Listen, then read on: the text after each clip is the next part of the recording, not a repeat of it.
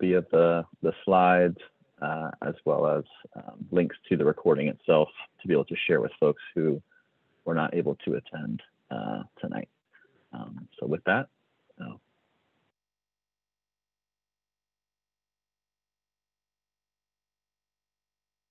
Well, good, good evening again, everyone. Um, that's a nice picture of the skyline. There's no rain for a change. Uh, we will have a welcome.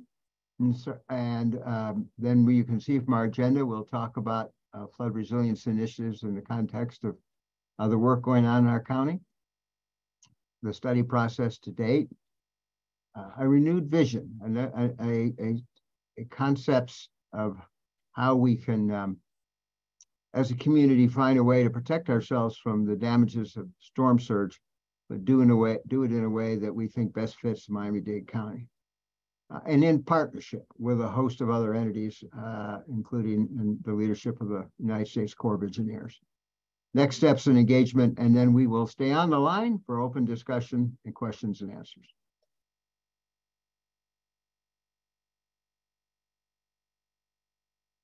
uh, some ground rules to help us get to everyone when we get to the question and answers.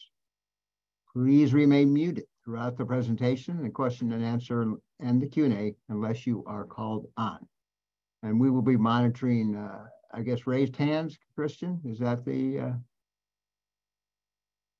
Yep, toward the end, uh, we'll yeah. allow folks to raise their hands. Well. Yeah, yep. please enter all questions and comments in the chat box, sorry and moderators will be monitoring the chat and reading the questions out loud.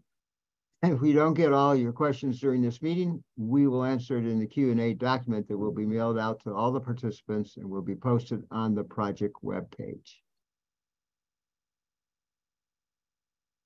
Well, I am not the mayor, but uh, I can assure you that absent a, a unexpected uh, change in her schedule, she will be joining us, I think, uh, within the hour.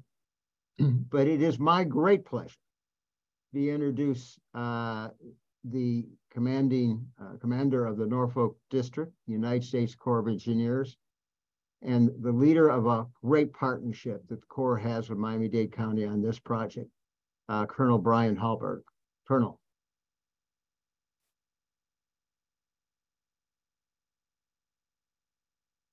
All right, I think we have Colonel on mute. Is that right?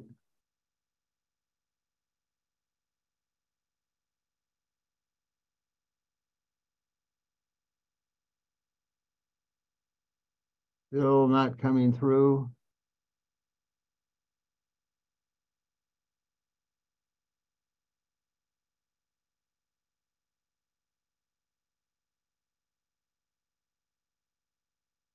Might be still double muted, Colonel. Can you hear me now? Yes, sir. There we go.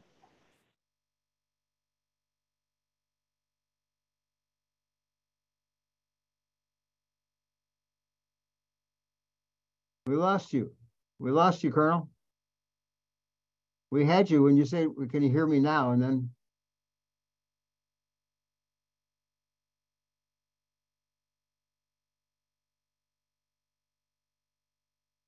About now?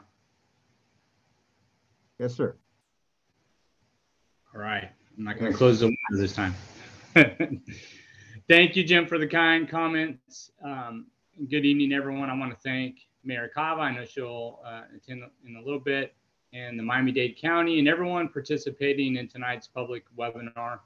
The work accomplished over the last 10 months would not have been possible without the coordinated efforts of Miami-Dade County, the Corps of Engineers, a whole host of uh, various stakeholders and the municipalities, and of course the public.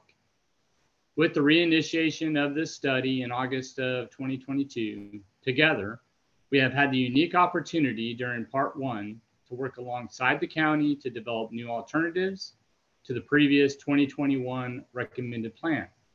While we are nearing completion of part one in August, we are only just beginning to roll up our sleeves for the evaluation and analysis that lies ahead in part two, as we'll work together to tackle the complex issue of coastal storm surge, flooding in Miami-Dade County, one of the numerous flood risks faced by the county.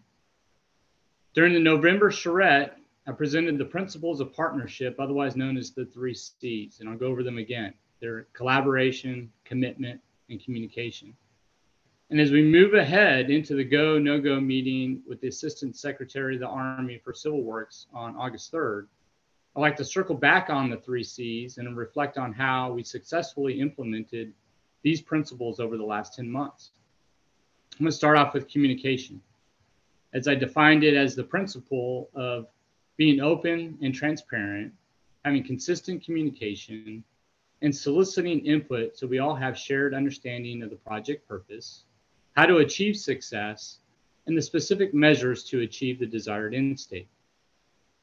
We're happy to reflect on our progress to achieve consistent, open, and transparent engagements with Miami-Dade County communities, the environmental justice communities, local stakeholders, and subject matter experts. Our continued communication efforts are critical to the study's success. That's why over the last the past 10 months, we expanded our communication efforts to include two well-attended charrettes, three public engagement opportunities, an in-person meeting, and two virtual meetings. We held six interagency meetings and numerous other engagements with municipalities and stakeholders. We value the input of the community and the stakeholders and recognize the importance of their involvement in shaping the future of coastal storm risk management in Miami-Dade County.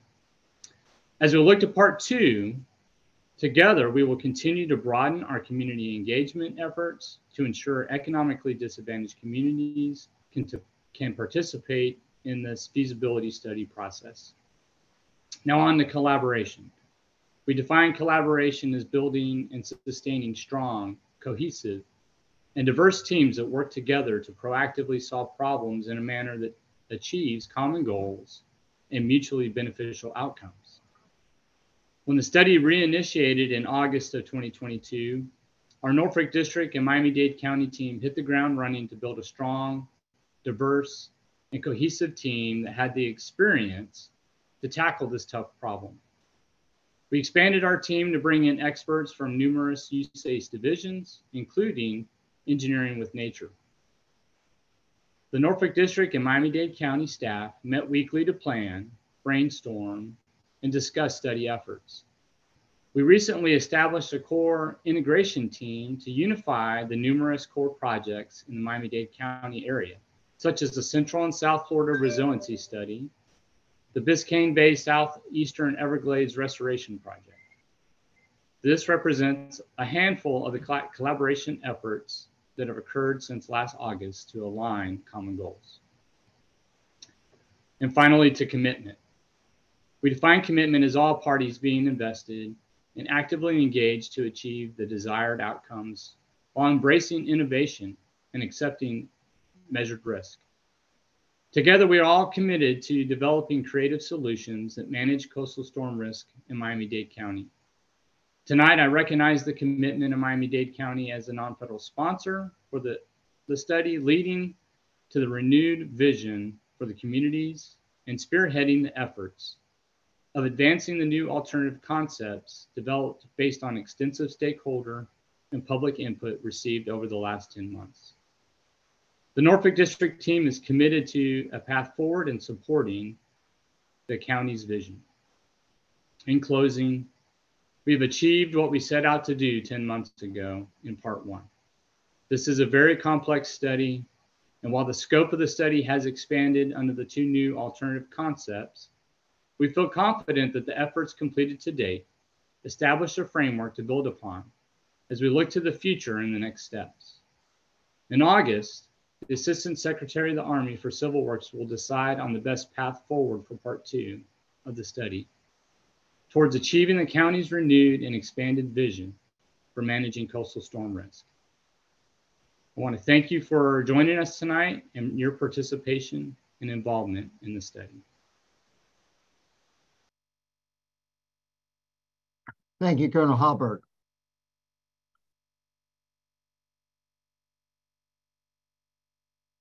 So uh, we will, I, I, think the, the Colonel um, gave me a great segue there to talk about uh, the numerous types of projects uh, that are ongoing in our area. Um, and from the county standpoint, we try to integrate these opportunities to work on new projects with the Corps or, or, or the South Florida Water Management District uh, through our adaptation approaches that we have laid out in the sea level rise strategy. Uh, we had a progress report that we put out last year. We'll have another one coming out this fall. And, and that it builds on the idea that as, as we experience the short and long-term impacts of a changing climate, uh, that we'll look for opportunities to expand on the landscape ways to protect ourselves from the events that we know can happen from a hurricane or a, a an intense flooding event, uh, and also understand that other aspects of the of the landscape are changing. Groundwater is is having uh, an impact in changing, so we have to think about a new landscape and, and build on the ways that we can best uh, adapt. We feel that this will give us the opportunity to have a, a, a fruitful future here, uh, building on this landscape just as they did in the last hundred years, uh, something appropriate for the next hundred years. The projects um, that are on this slide, which we've developed over time, some are directly related. Others are are are perhaps a little uh, are tangential, but but they represent investments being made in our community um, with our partners at the South Florida Water Management District, uh, the you know the Corps of Engineers entire family, the, our home district in Norfolk in Jacksonville, uh, the expertise of the Norfolk District doing the Back Bay study, the special uh, uh, uh, research arms that the Corps has put at our disposal. And we want to we want to be sure that we are moving forward a project such as the Back Bay in a way that it is uh, integrated and leverages the opportunities for multiple benefits from thinking about Everglades restoration, thinking about how we will retool the Central and South Florida uh, flood project, the original project that was built across our landscape to provide drainage. Uh, how we'll make continued improvements on our beach. Uh, with the help of the of Jacksonville District, we got our beach project reauthorized uh, last year. We have more to do, and that we want to see that integrated. We hope um, with with some of the actions we'll talk about this morning. Uh, improvements to the Port of Miami. Uh, Biscayne, the, the village of Key Biscayne will be doing a pilot study, uh, taking into consideration many of the, the elements and measures that we're talking about today uh, that will be applied countywide. And of course, these efforts have to be uh, coordinated with the res resilience study and level of service plans of the South Florida Water Management District, our key partners in our 34 municipalities, working on their uh, stormwater plans and other resilience efforts, a Biscayne Bay uh, water quality insurance plan, and, and yet to be uh, initiated but coming is a watershed management plan uh, led by our Chief Bay Officer, uh, Irela Bagué, and our watershed board uh, chaired by Commissioner Cohen Higgins. And we just had a final report on the South Florida Military Installation Resilience Review, where we have actions proposed uh, to protect our very important military installations. We can weave all this together into a, a, a far-reaching investment in our future. And tonight we're going to look at one of those, the Back Bay Coastal Storm Risk Management Study. But you have the commitment of the county, and I know of the Corps that we are going to keep this uh, level set with all these other projects and to have transparency to all the stakeholders as to what is happening, how they can get information, uh, and how they can be part of the process. So we expect uh, to be dealing with water. Water comes is sort of basic to the landscape of South Florida. It's our the groundwater, the, the, the, the fantastic resources that the Biscayne Bay Aquifer brings us. But of course, we all know it's also a porous geology that means we have a groundwater situation which will constantly be affected by surface water and other events. We'll have flooding in the canals. That's what they were designed for, to, to pull the water from the secondary and tertiary canal systems, move it to tide. But with the volumes of rain we're experiencing, we'll have canal flooding. Uh, we have a history of dealing with saltwater intrusion, great partnerships with the United States Geological Survey and the South Florida Water Management District and our experts at, at Water and Sewer Department. So we'll keep track of saltwater intrusion, but it will be magnified by many of the events and changing conditions we're talking about. We know we'll have shoreline erosion. That's why we maintain our beaches to, to mitigate that erosion. And where we don't have a beach, we're going to be talking about nature-based uh, interventions. And and we storm surge is that thing that we now know from Hurricane Ian and the Southwest Florida uh, experience is what we have to really think about. It's not going to spare us if we have a hurricane coming ashore in Dade County. That's why we're doing this Back Bay study in collaboration with the other studies. so there are a lot of measures that we'll talk about tonight, uh, but think about the landscape. Think about how we're surrounded by water. We have water uh, effects of, of the groundwater underneath us we have to be thinking about the future and how the conditions are changing and how we can adapt to that. Next slide. This magnifies the storm surge phenomena.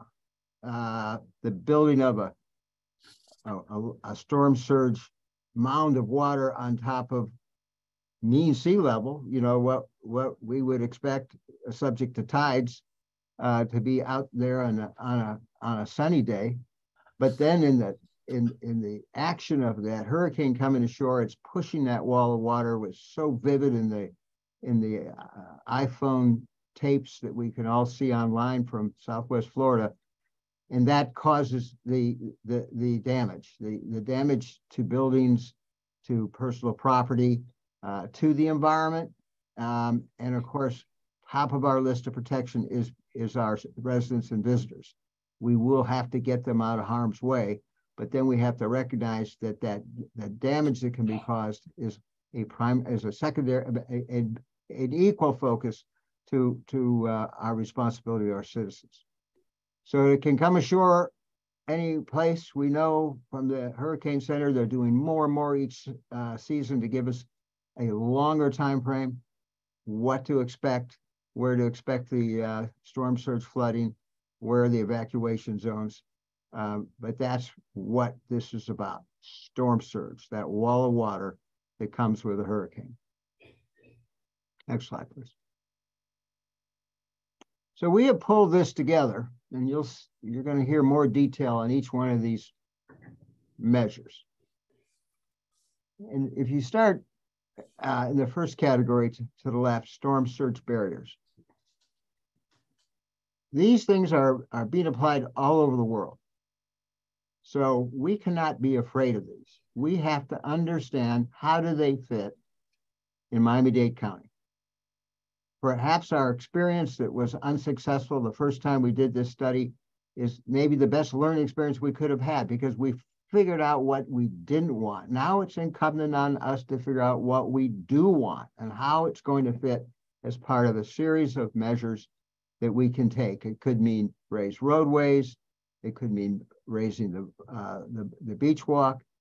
we have to have we may need uh, and will need uh, some barriers at the opening of the navigational canals uh, and and applications uh, along some of the um, uh, bridge bridge evacuation routes on the south and north to be sure that if we are eh, eh, going to go with, with a series of structures that they operate the way they're going to be designed to operate. That's going to be key. We have a lot more work to do with the Corps about that. But, but we as a county are saying this is not off the table. We know what we don't want. Now we want to understand what we do want in the area of barriers.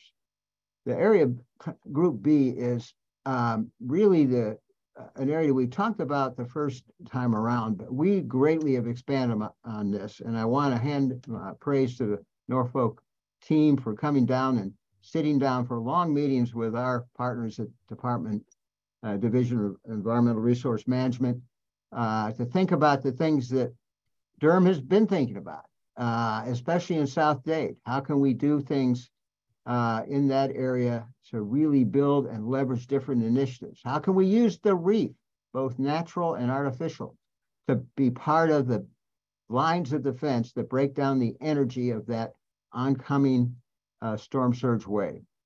We have a great dune system. Uh, we can enhance it, and it can be uh, well part of a of a line of defense as we move forward. And then where we have our natural areas, protect them and expand on them, and where we can use living shorelines, uh, apply that uh, from the expertise that we're learning. Then category C is very important. This, this, no matter what we do, and all through the years that we've been studying this, we knew that there are legacy homes in our community that need to be elevated and, com and commercial facilities that need to be flood proof. Uh, we cannot just expect every dwelling to be torn down and rebuilt to the new code. That's going to leave us in a community where everybody is a millionaire that can afford to do that. We have a lot of people that uh, we have a responsibility to find cost effective ways to keep them in their homes. And that's why these non structural measures uh, of elevating residential homes and floodproofing, they, they are embedded in any combination of things we do. Next slide. I get the chance now to uh, hand this over to Michelle Hamor, the Chief Planning and Policy Branch, and to thank her and Faraz and Abby and the entire team at Norfolk for hanging in there with Miami-Dade County. They have been listening. They have been trying as much as they can, and they're under some pretty tough guidelines. But they have been trying to bring this home uh, to meet the goals that uh, our mayor set out along with the assistant secretary. So Michelle, thank you. Thank you, Jim. And we are very happy to continue this collaboration and look forward to where this study goes into the future. All right, Christian, next slide. So just a little bit of background of where the initial study uh, began and where we ended. Uh, we began in February of 2018. Uh, this was uh, as a result of emergency supplemental uh, resulting from the hurricanes of Harvey, Irma, and Maria.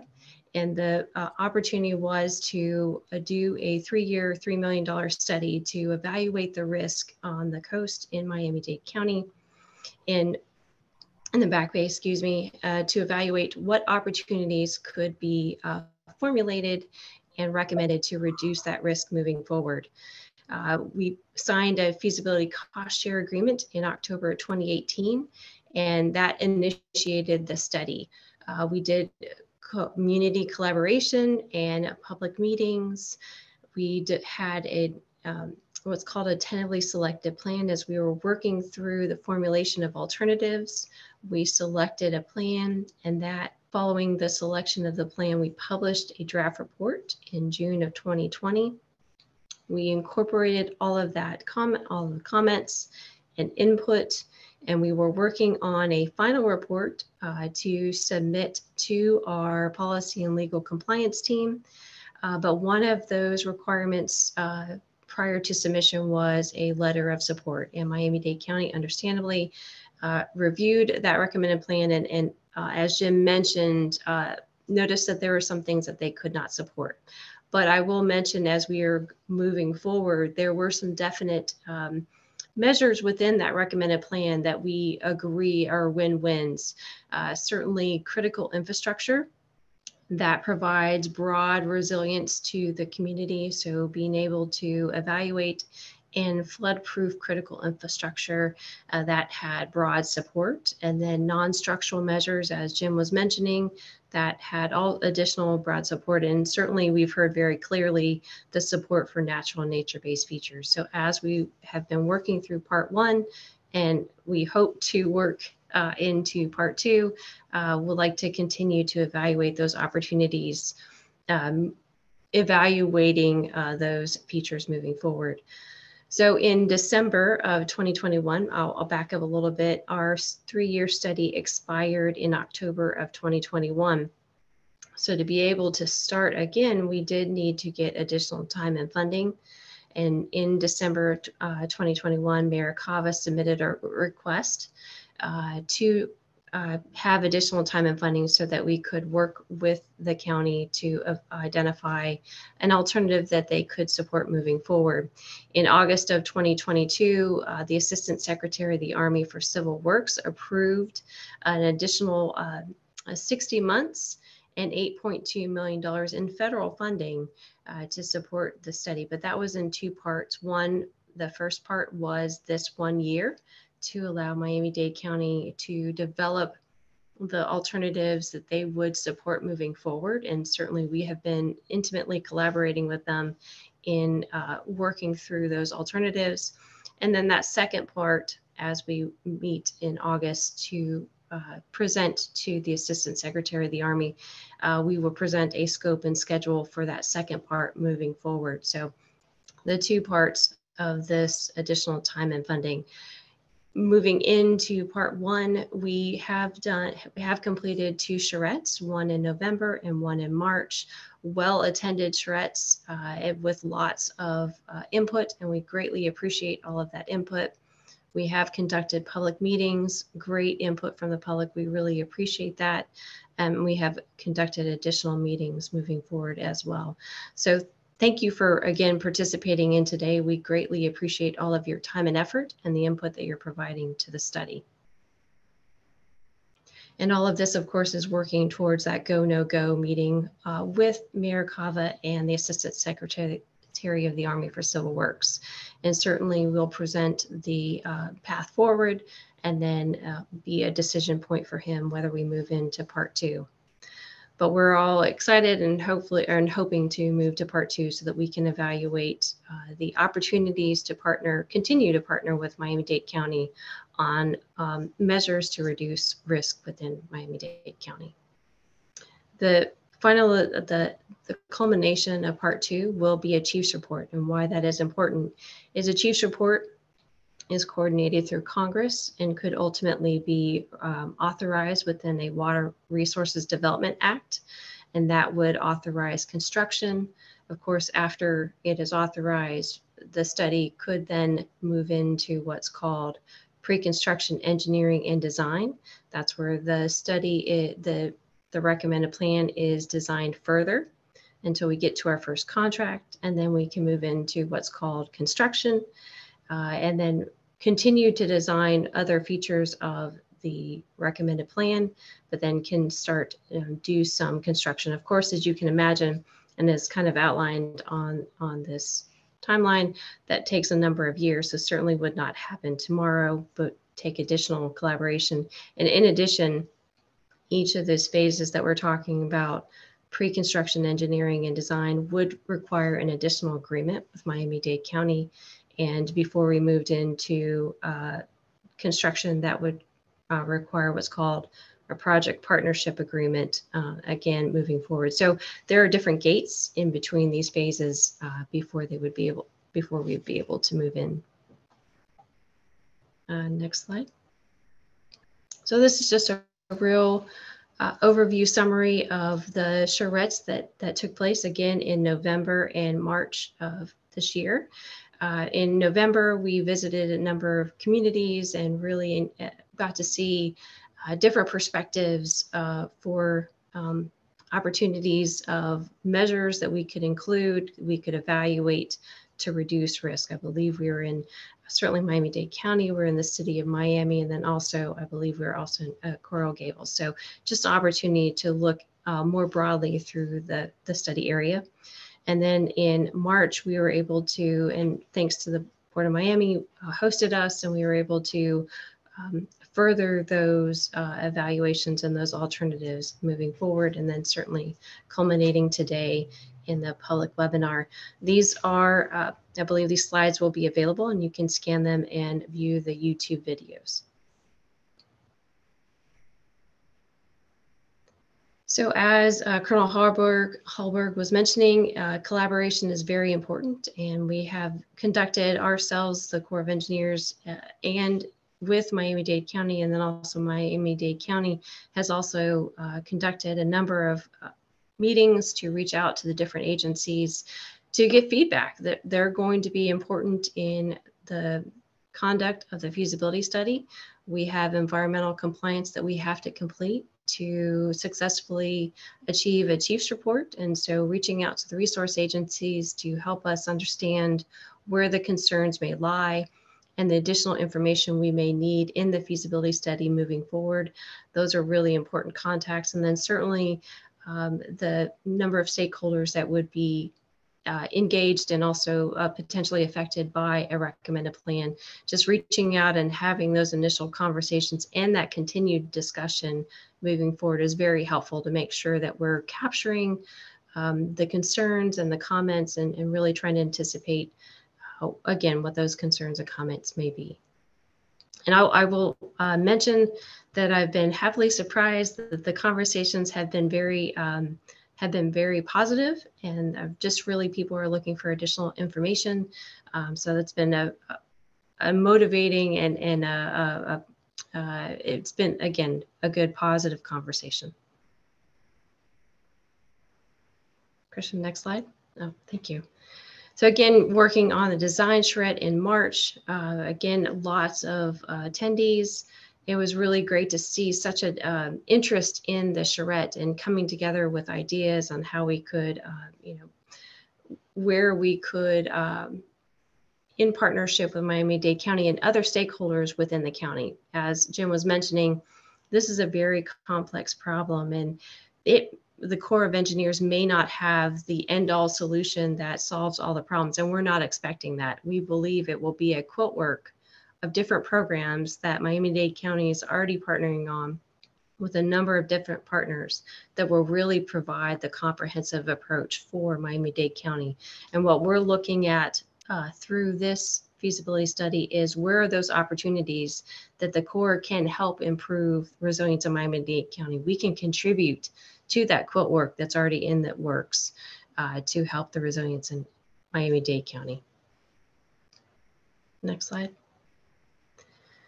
one of the uh, opportunities, now I'll just step back for a second, is uh, looking at comprehensive benefits. Now, when we conducted the original study, uh, we were uh, developed in 2020 our, our, draft report. We already evaluated comprehensive uh, benefits as we look at look at our studies, but our direction, our policy directive was really to dig into what are those additional opportunities that are benefits to our plans um, that may be broader than coastal storm risk management. So that's the study authority, as Jim was mentioning earlier. That's the study authority that we use. The permission from Congress that we have is really to evaluate coastal storm risk. But when we talk about measures like natural nat- natural and nature-based features, they provide other opportunities such as environmental quality, uh, there's the opportunity for recreation or certainly of life benefits, recreation recreational benefits, if that natural nature-based feature uh, is somehow pulled into a park situation. So now you're improving life and health and quality of the citizens. So really trying to capture all the benefits that the measures within a recommended plan can provide. And that should be uh, included to tell the entire story of what the recommended plan again provides for the county. So additional benefits that we uh, evaluate include regional economics. When you construct a project that uh, provides uh, certainly uh, salaries and money within the region, and that provides some additional benefits. And then looking at all the social effects um, that are provided by those measures, and then also again looking environmental quality we are looking kind of high level at this moment as we're looking at the measures that will be included in the in the alternatives moving forward. But we'll really dig in deep when we get into part two, and we'll um, work with the county to identify what those uh, benefits look like, and certainly what um, we can use to describe uh, those again those additional benefits. Next slide. So we were, as I mentioned earlier, we were given one year from the start of the approval, which was in which was in August of 2022, uh, and that will end August of 2023. So we've had 10 months in. We've done a lot of work. We've collaborated very closely. We've had multiple meetings a week to work through the uh, plans moving forward. Uh, and we'll continue to do that certainly in part two. We're looking at, again, those measures that are opportunities to reduce coastal storm risk, and we will include sea level rise in that evaluation. I think I would agree certainly with Colonel Hallberg's assessment and Jim's assessment. I think we are much better placed than we were during the original feasibility study. Uh, we worked more closely together, and I think we have a, a better uh, collective understanding of what Miami-Dade County has in is in its vision moving forward. Certainly, we'll we'll need to continue to work forward to make sure that we're in alignment. But I agree, we're in a much better place than we were previously. I'm looking forward to the August Go No Go meeting, uh, and that will be the kickoff. If approved, that'll be the kickoff for the remaining four years of the approved time moving forward. And then we'll dig into that analysis and do some deeper design or some additional design and, and deeper analysis moving forward.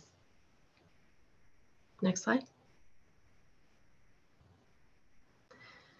And in part two, again, this will be more of the traditional feasibility study. We'll, all, we'll evaluate alternatives uh, to look at, uh, certainly from the federal perspective, we will evaluate alternatives that um, how they contribute to federal interest. So when we're looking, we're conducting a feasibility study, we are looking at federal interest. So if we're trying to explain to someone in the middle of uh, the, uh, I'm sorry, uh, in the United States, why it's important to invest in Miami-Dade County, we're looking at evaluating that return on investment. But even more broadly, we will uh, add that additional explanation and description using comprehensive benefit. So the full description of what the benefit is uh, for that plan moving forward. And we'll do that in alignment with Miami-Dade County. Uh, a very important part that Jim was mentioning earlier, there's a lot going on in Miami-Dade County, a lot of, a number of studies, and it will be very important that we continue to collaborate with those studies and so that we can uh, look at opportunities for com um, complementing but also making sure that uh, what is uh, formulated and recommended in those plans is included or accounted for in our plan so that we're working together as one system versus uh, you know duplicating efforts or just making sure that we're talking between the different studies certainly. And then as also as jim was mentioning earlier the multiple lines of defense absolutely when you look at those opportunities in the slides or, or, the graphic down the bottom it's a number of different stakeholders that provide that multiple line of defense including non-structural uh, measures such as increased building design to reduce risk as you uh, have new development you build to higher standards so that you can reduce the risk into the future. So some of these pieces of that multiple line of defense fall into different um, jurisdictions, but we're but the combination of them all provide the multiple lines of defense that help for a more comprehensive uh, view and um, solution to uh, coastal storm risk. And then at the end of it, certainly that commitment to um, more robust community engagement having additional uh, public meetings and getting, getting additional uh, public comments about the study, not only now, but also into the future so that we can be accounting for uh, kind of the view from the, the county and the, the citizens. Next slide. So I know I'm going to be handing it off to Lynette, but thank you so much for the opportunity to share for the study.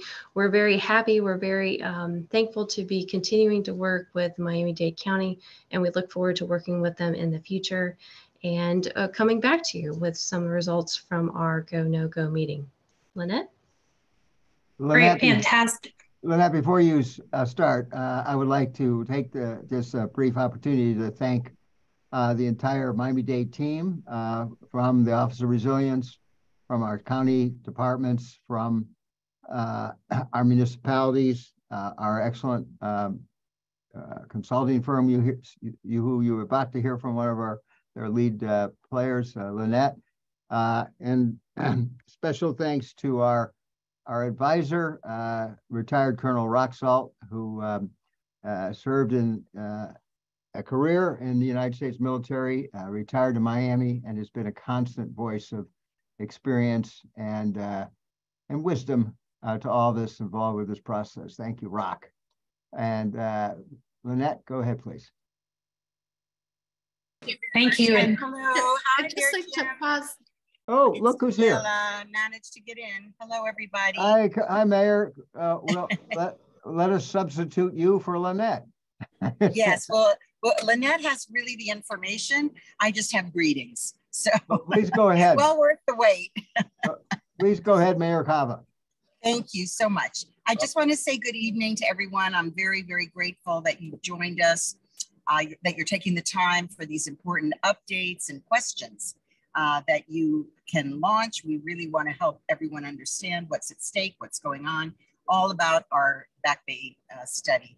And we could not move forward without the critical input from our community, from our cities. And so it's really been essential to have so many people involved. Uh, it has been a very long process. Uh, I think you know that there was a reset button pushed, which actually has gotten a lot of national attention because apparently the Army Corps, uh, you know, uh, doesn't often do that. But they were able to hear the input from the public and and make note of how important it would be to start again.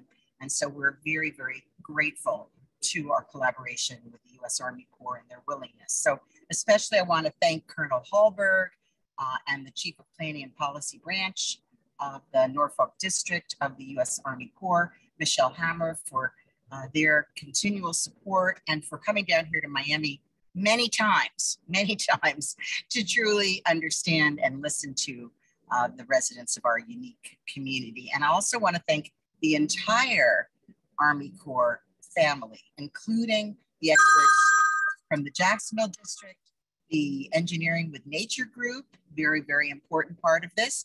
And they have come from all over the country to support us. Uh, in my visits to Washington, D.C., I've had the opportunity to meet again with the Assistant Secretary of the Army for Civil Works, Michael Connor, who was the person who took the lead in, in helping to guide this, and his staff. And I want to particularly express uh, how grateful we are for them listening to our priorities and needs here in the county. I've been extremely pleased with their willingness to listen and support us. And the reinitiation of this study came after the Corps presented their first draft plan in 2021. Uh, you may know that it heavily featured gray infrastructure uh, and also a mangrove restoration project in Cutler Bay. But overall, the 2021 plan did not reflect the values of our community. So I requested that we extend the study time with community input in mind. And this was done over the last nine months. So we have been working diligently with the Norfolk District to develop a set of locally identified alternatives that enhance our environment and urban core while reducing the risk from storm surge. This is a big win for Miami-Dade County. And with this extension, we've been able to better solicit feedback from our cities, our residents, nonprofit organizations, and our um, universities and colleges. So we are working together to maximize nature-based solutions. And this is uh, innovative. This is something that is being talked about all over the world, and we are truly going to be able to put that into action. And we're also coordinating uh, the Back Bay study with other water-related infrastructure projects in our county and the Southeast Florida region. We have more uh, Army Corps projects than any place else in the country. So we know they, they really love us. Thank you. Uh, we've already hosted several public meetings to engage our local stakeholders. We've had consistently over 200 people at these events. I'm very proud of the engagement. You may know one of my four E's is engagement, environment, economy, engagement, and equity. So we take that very, very seriously. And tonight's briefing is going to bring everybody up to speed. Uh, we'll get a closer uh, uh, look as we approach the key milestone, which is August. That's when the Assistant Secretary of the Army's Public Works and I will decide together if this project is a go or no go. That's the terminology that they use. And I am confident that we will be able to move forward with consensus and we'll also be hosting more meetings as the process continues. So to make sure you don't miss a beat, you can sign up for updates through our Office of Resilience's newsletter at miamidade.gov slash resilience. I want you to know that as mayor and as a lifetime environmental advocate, I am making a commitment to everyone in our community. Miami-Dade County will continue to collaborate with all of our partners towards a solution that reflects our values and that protects us from storm surge and incorporates nature nature-based solutions. So I want to thank everyone for attending tonight. Again, you're going to hear from the experts, but I just wanted you to hear from me how important this is to me and to my administration. Thank you. Thank you very much, Jim. Thank you, Madam Mayor. Uh, Lynette, we're back with you. Fantastic. And I have to say that Madam Mayor said it much more eloquently than I'm going to say it, but I'll just reiterate that one of the main points is really that we're at this place today specifically because all of our stakeholders, our um, community members, our non-governmental organizations, all the folks really came with ideas participated in charrettes, have been participating in these sorts of meetings and calls and partnering with the Corps of Engineers to be able to look at, as we look at this renewed vision, what are the things that are very important to this community and how do we start working as partners continuing to move ahead? So with that said, um, let's get going. Okay, so we're going to talk a little bit more about these. Uh, Jim had these up earlier, as I recall, and we start to think about a couple of things when you start to looking at management coastal managing coastal flood risk.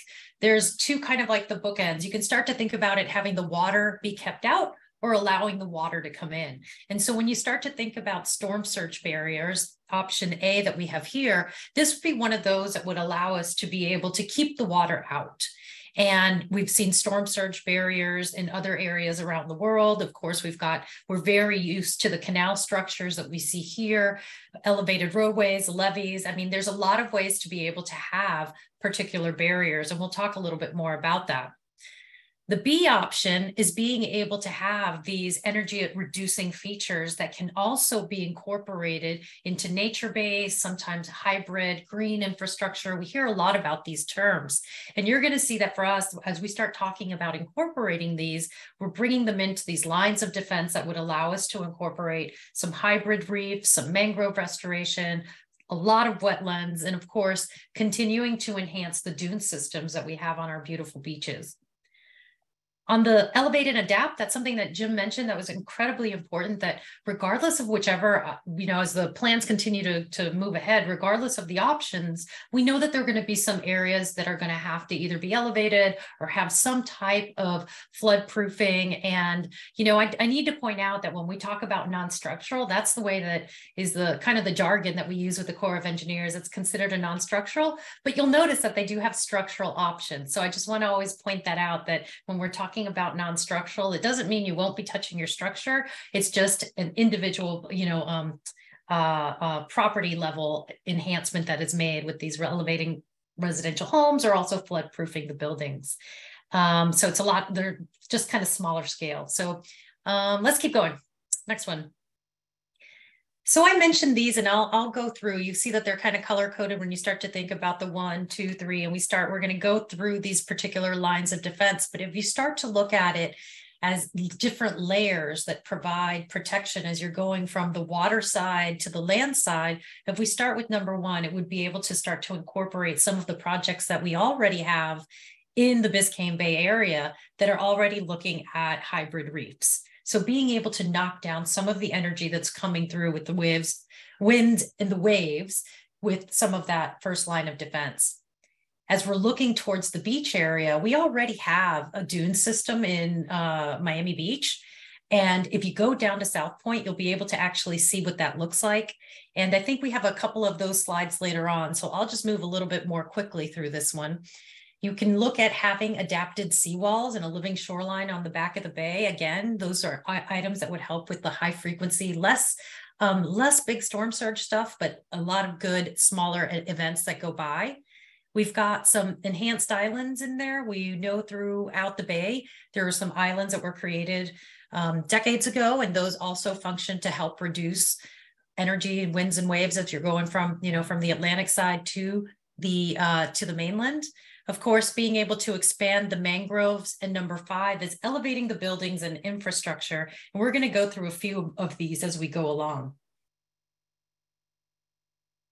In any plan, we always include critical facilities. And this can be some of the, see here, the wastewater treatment plant and always included in their emergency response and being able to reduce the vulnerability of these critical assets is just, it's fundamental. So I would say as we continue to move forward and, you know, part two, this aspect of reinforcing critical facilities is one of those that's that's a given. Now how we include them and how we go ahead and protect them are some of the details that'll be worked out. But rest assured that as we're talking about some of these critical infrastructure facil facilities all of these continually get looked at and will be included in the plans as we move ahead. Next slide please. So as we started looking at the offshore options, you know, working our ways from one to five, starting to think about something like a hybrid reef and being able to have the examples that we've already seen with the University of Miami and some of the Miami-Dade County artificial reefs. The next part of the study would start to look at key considerations of how do you, where do you locate these? What depth? How, what are the sizes? How do we start to look at the benefits that they're bringing, not just from the wave energy reduction and some of the effectiveness that can have to enhance that beach renourishment, but also on the comprehensive benefit side of habitat creation. And of course, all of the enhanced tourism that we've got with people going out and really enjoying the reef. And finally, it also helps us to really, you know, have these educational and research opportunities. We see with the University of Miami and some of the very important reef um, you know, Madam Mayor has really highlighted the fact that we are in a prime location to be leaders in this world. And in this area of blue green infrastructure, being able to, to be the leaders is another one of our goals. So next slide, please.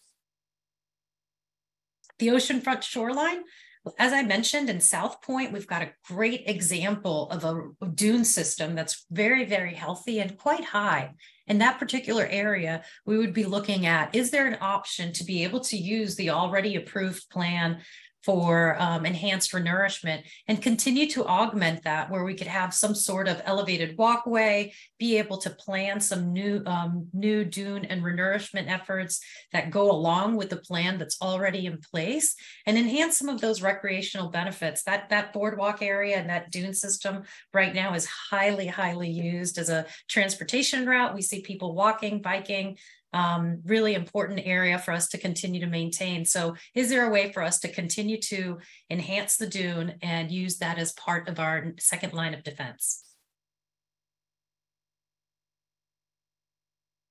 These are some interesting diagrams of what it could look like. If you look at the, the, the, the raised, the first one, it's a, just looking at a raised dune and the one on the bottom also includes an elevated walkway. And in both, you see that it's very important to continue this beach renourishment project, the beach replenishment as we see there, continuing with that dune vegetation. And then that part behind, continuing to have that as an access route for recreation and of course the transportation that I mentioned. Next slide. Going on the uh, uh, on the shoreline one of the ways i mentioned is being able to keep the water out. So as we go around and start looking at how can we go ahead and protect from the storm surge one of the options would be to use this beautiful barrier island that we've got as the first line of defense that actual land structure. But then we'd need to go ahead and close off the actual um, uh, inlets and provide that reduction of inundation and waves now, part of the important consideration for us is, of course, our, our wonderful water quality that we've got in the bay, make sure that we are not impacting that water quality. And the one thing to note is that when we're talking about these storm surge barriers, these are structures that remain open. I mean, I would love to say all year round. That's but that would just be if we don't get a storm moving through. So as we continue to see large impacts to hurricanes coming in, we would be closing them. But otherwise, these are structures that would just remain open year round. Next slide.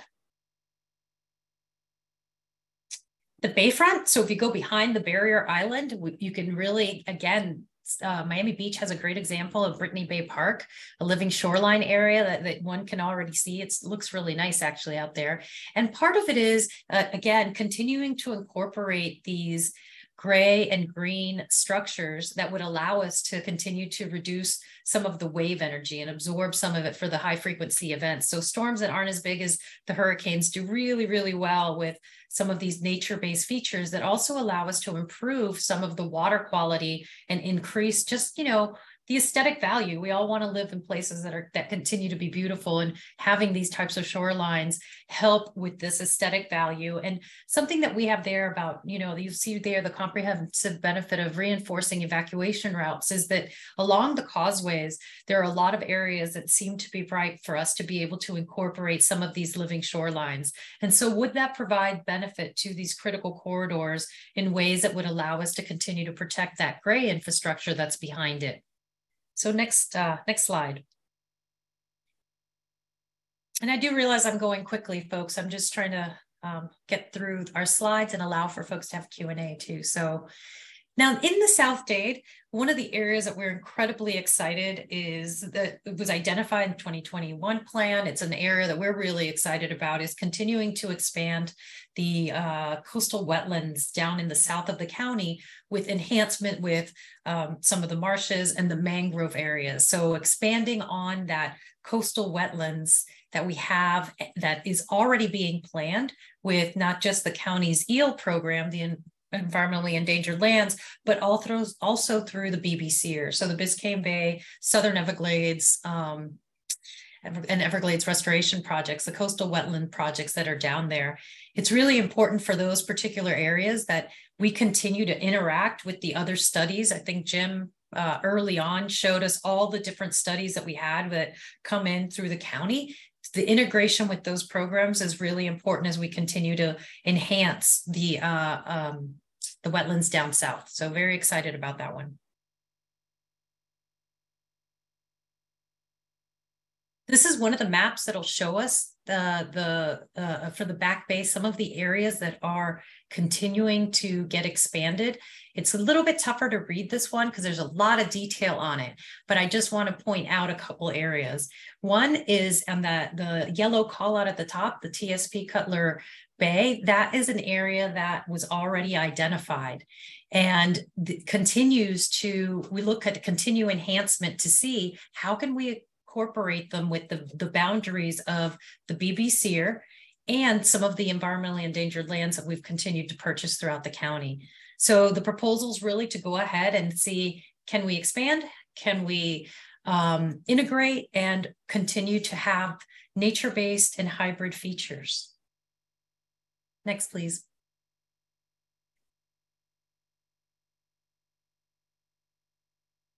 Lying areas, this is one of those where we continue to look at how are we going to be able to provide some of these non-structural um, ad, ad, um, adaptation features. And this would be looking at residential home raising and of course, commercial flood proofing.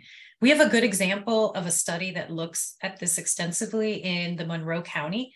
The Florida Keys Comprehensive Storm Surge Risk Management Feasibility Study that was approved September of 2021 really takes the lead on being able to do some of this non-structural um, considerations at scale. And for us, it was really being able to have community cohesion and continue to have the conversation around some of the older structures or structures that may be of lower value um, in the benefit cost assessment, how is it that we can continue to allow for a more natural functioning of the floodplain, but also continue to create retrofit opportunities with the buildings and keeping people in the community. So allowing us to really have that community cohesion that is very important to, well, all of the communities that we work with. Next, please.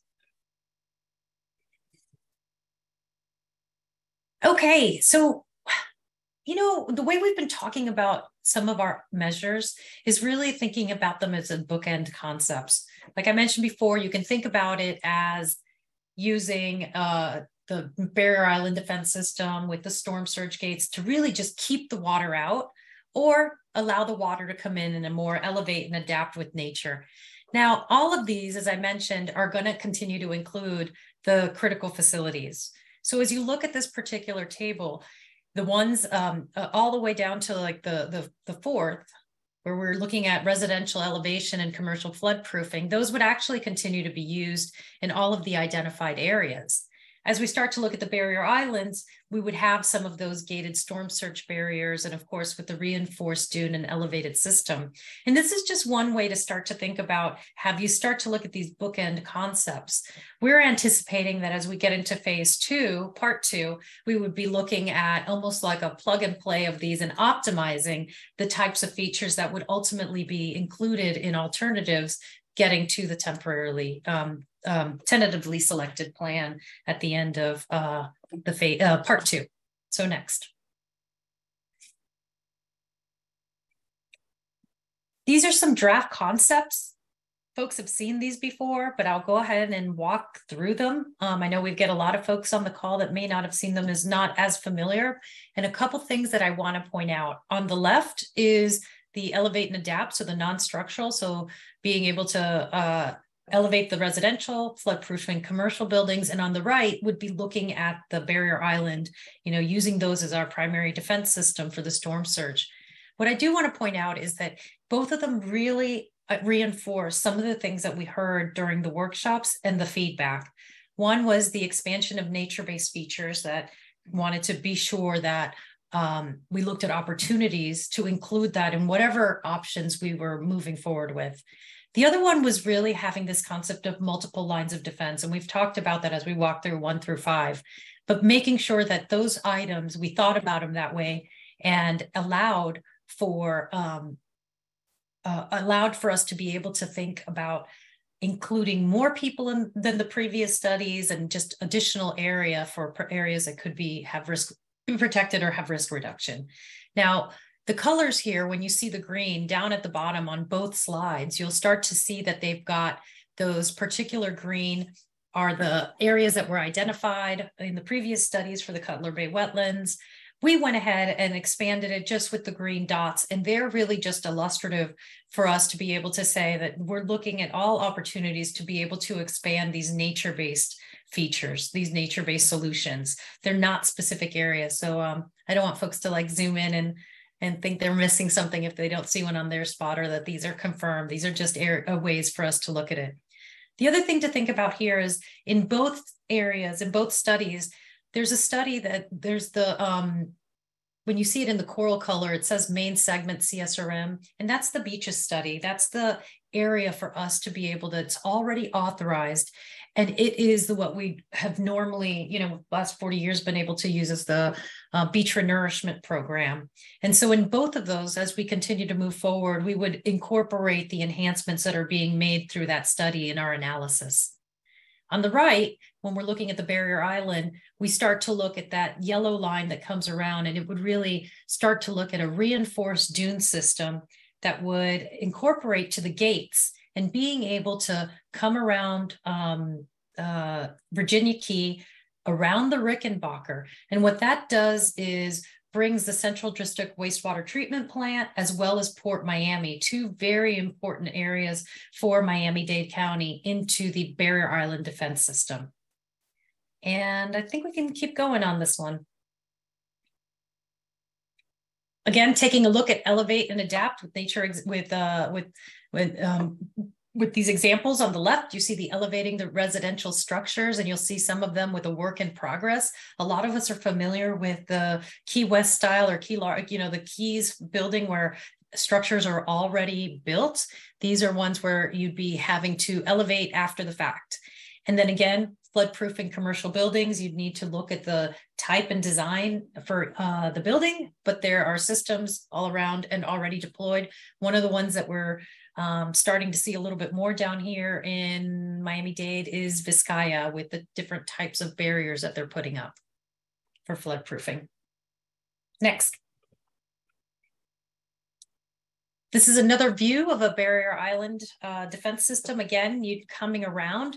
If you see that on the right, the reinforced dune system with the replenished beaches, you come across uh, government cut and again, the storm surge barriers would close only in time of, uh, uh, of a very major storm coming through. The barrier island, again, coming using Virginia Key and around the island into Rickenbacker. So using some ex existing um, existing uh, structural solutions, enhancing those and providing additional access for protection um, of the of the Rickenbacker Causeway down there. Next slide. Perfect. I'm gonna hand it over and happy to answer questions later on. Thank you.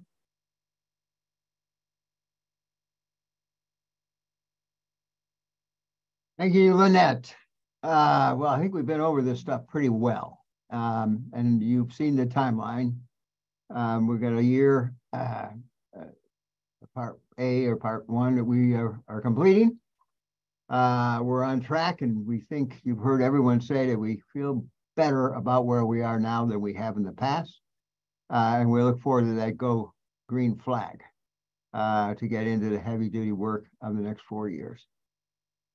Uh, we will be updating. So just again, everybody feels these are very important uh, about the evaluating alternatives, the studies.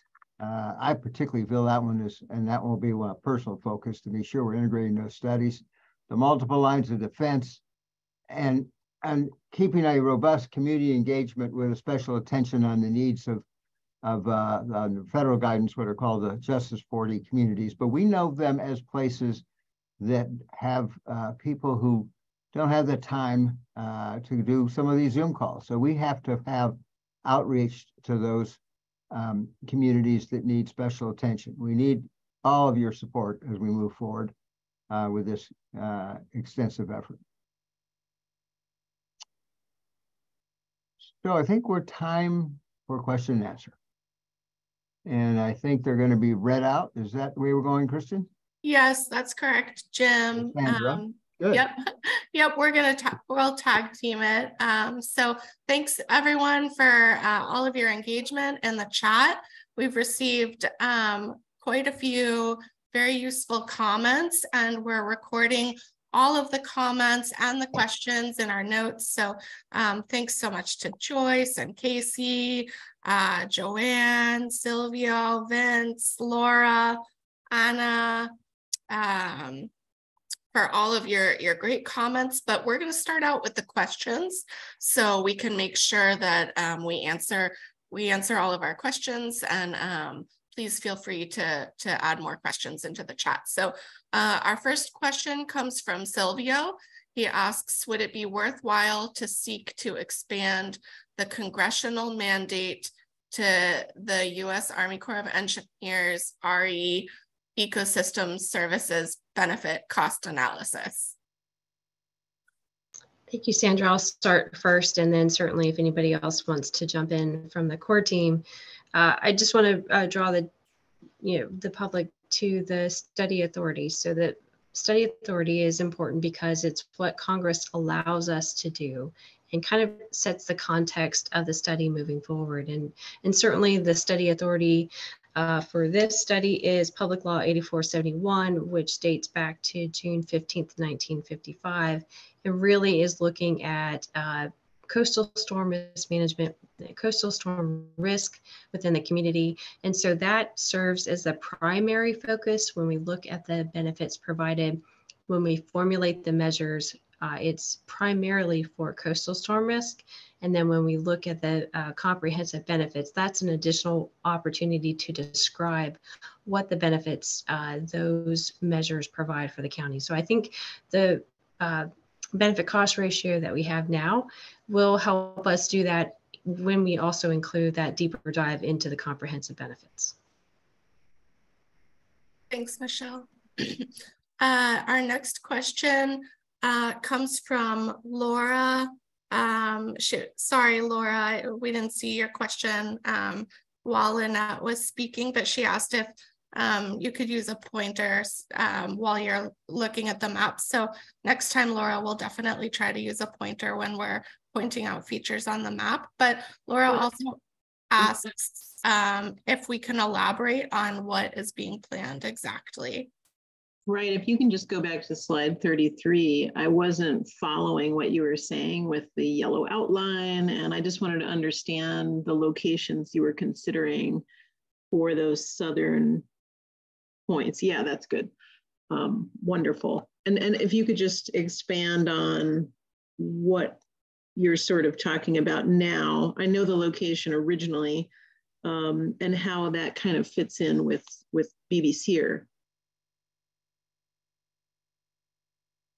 Thanks, Laura. This is Christian. I want to just check if uh, if Pamela from our Division of Environmental Resource Management is on. You might be able to elaborate a bit more. Uh, Pamela, are you on? Hi there, Christian. Yes, I am. Great. Yeah, maybe you could just give a quick overview for for Laura's uh, question. Absolutely. And Laura, I caught the tail end of that. Were you talking specifically, or your initial question was about the yellow polygon features? Just trying to understand how BBSEER and Back Bay will integrate in, in the Cutler Bay region. Oh, got you. Well, it's there's a as Lynette alluded to, there's a lot of sort of um, I would say like bells and whistles. Some of them integrate and are already sort of spoken about um, in what was BBCW or Biscayne Coastal Wetlands for people less familiar with all the jargon that may have been discussed, but maybe not in a, an attentively selected plan for BBSEER yet, or some of the features are, and we're trying to capitalize on them. An example of that would be the, the hot pink polygon you see sort of in the middle of the map where the water protection area is slated to happen as part of BBSEER.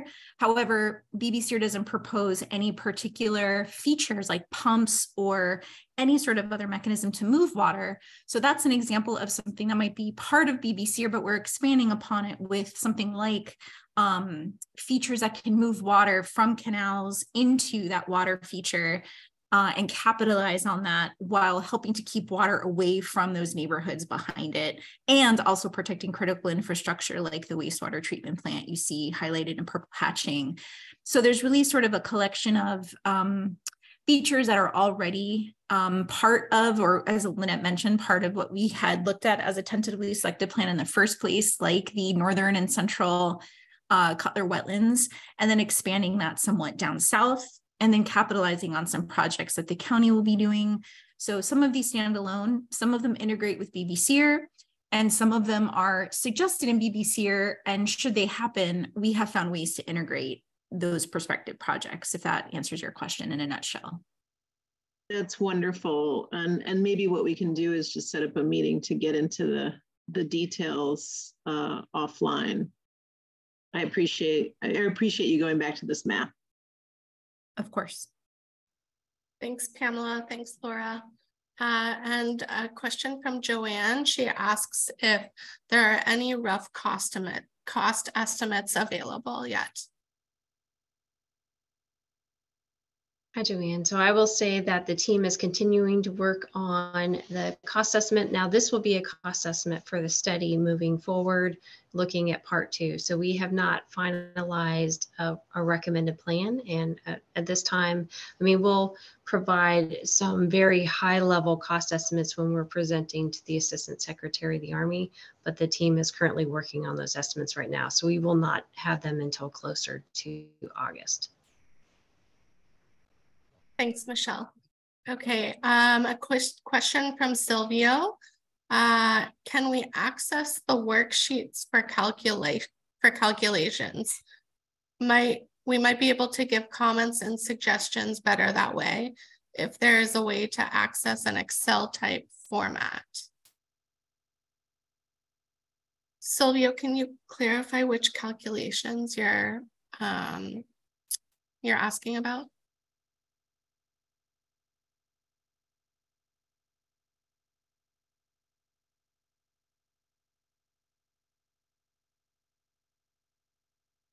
Feel free to come off mute, Silvio, if you're still online.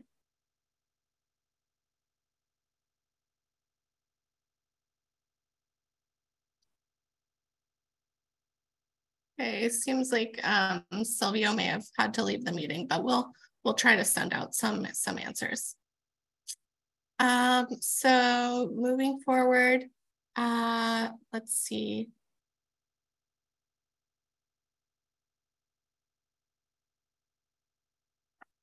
Uh, Ada Curtis asks, in both proposals, you've shown possible nature-based solutions, but not proposed. When will the, these be changed to proposed? Now that's a great question. Certainly, move if we're able to move into part two, uh, we hope to uh, partner in some hydrodynamic modeling will help us uh, inform benefits that could be provided by natural nature-based features. Uh, but that um, iteration and the evolution of natural nature-based features that will be conducted in part two. So certainly as we work to towards what we call tentatively selected plan, we should have more formalized locations for those natural nature-based features.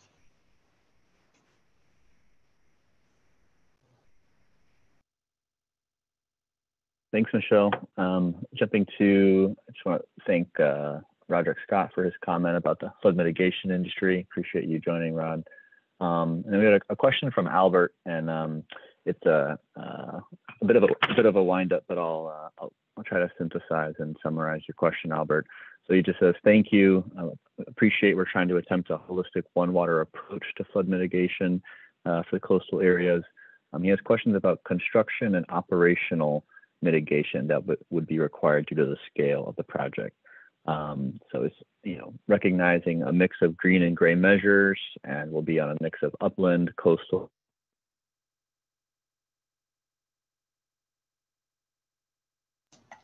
like grass and wildlife during construction.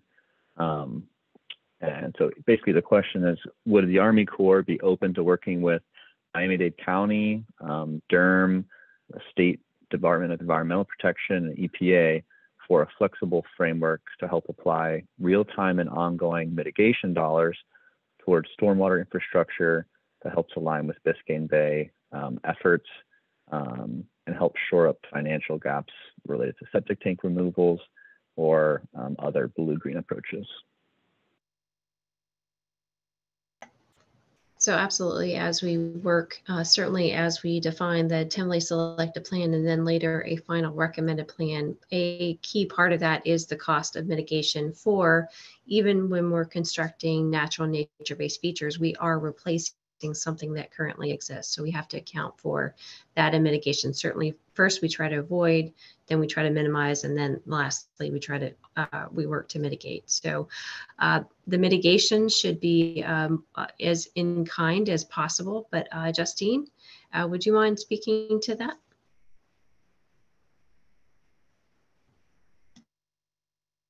Sure. Uh, good evening, everyone. Can you hear me okay? Okay, I'm going to take that as yes.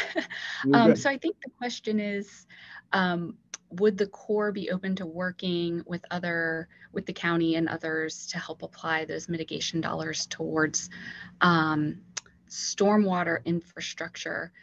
Um, so as Michelle mentioned, um, typically, especially with respect to environmental mitigation, we'll be looking to do replace in kind as much as possible.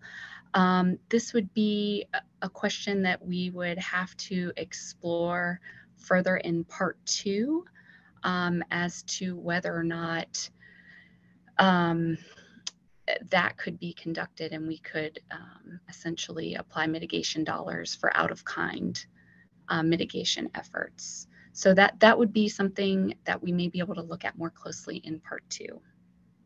Justine, just one uh, clarification. Is it um, correct to say that our resource agencies, the ones that we collaborate with, they kind of help set how that mitigation, how that mitigation would occur to to meet those objectives in terms of mitigating the what's affected?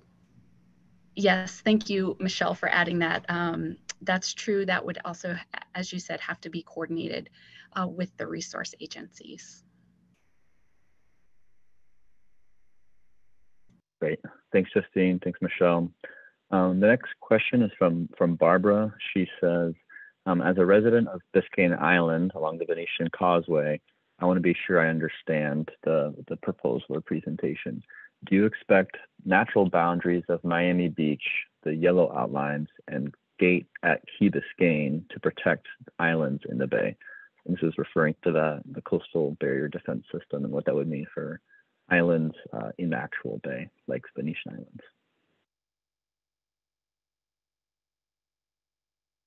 Well, I, I mean, I, I'm sure Michelle can add, uh, or Lynette, to the possibilities of the enhanced beach work. But the the beach uh, erosion control project that was just authorized does provide some uh, protection the storm surge. So uh, it will reduce some of the energy of the of the wave coming across uh, the island and into the bay and where the bay islands are. So that's important to recognize that a well-maintained uh, beach project does provide protection. We want to build on that in the concept that we have uh, presented here. So I think that would mean if the concept were to be evaluated and pass muster and to be built, that there would be more protection and less of a impact of a storm surge in the bay. So Jim, I will just uh, add to that, that when we, if we are able to move into part two, part of that will be to evaluate, um, to look into a hydrodynamic modeling model within Biscayne Bay. So as Jim mentioned earlier, there's a number of studies going on. Certainly the 216 study for the central and southern Florida uh, um, system and looking to do a hydrodynamic model so we can uh, work on the same platform between the two studies and that would inform certainly the the water the wave action within biscayne bay and then we would uh, be able to uh, identify what additional measures might be necessary to reduce uh, wave action in um, in biscayne bay thanks jim thanks michelle um, I recognize uh, Jenny Silver's comment about um, the benefits of nature-based features. Thanks, Jenny, for adding that. Um, John Wall has a question about the timeline. Said, is it accurate to infer that any start of any significant construction activity is at least six or seven years away? So our study, uh, if we are able to move forward in August, will be uh, four years, approximately four years. And then uh, beyond that, moving to a Chiefs report, we would move into pre-construction engineering and design. So I would say it would, it would be uh, more than seven years away. Michelle, let me ask this uh, hypothetical. Sure. If we were to move through the process in a positive way, uh, obviously if we're it has to be positive to move through. Um, is it is it uh, any experience the Corps has that we could kickstart if we got to that place, met all the tests, we could kickstart some of the non-structural elevations and floodproofing? In, so that's a great. In the I'm say sorry, what Jim. you guys refer to as the preliminary engineering and design part. Yeah, that would be that next phase after the chief's report. Now, what you're recommending is certainly something as we look at phasing, uh, non-structural per a building may be more easier to implement more quickly than certainly something of, of a broader approach, uh, long, uh, a larger measure. So yeah, we may be able to get to something more quickly when we're looking at non-structural, but first that uh, next phase is the pre-construction engineering and design. That is, uh, leads us to our first construction uh, contract and then we would move into uh, the construction phase. So yes, that I anticipate the non-structural may be easier to design because you're working with single structures uh, versus a larger measure.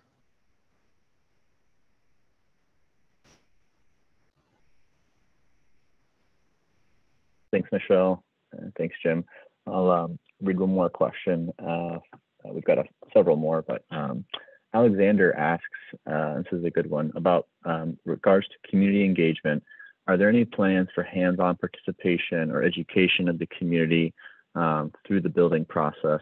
And then this is being thought about in the budget as well. Um, gives the example of the, the Cristo Floating Islands projects that engaged hundreds of volunteers. Um, could be an opportunity to build education efforts and build stronger community buy-in um, and understanding through field trips, uh, restoration, uh, and so on.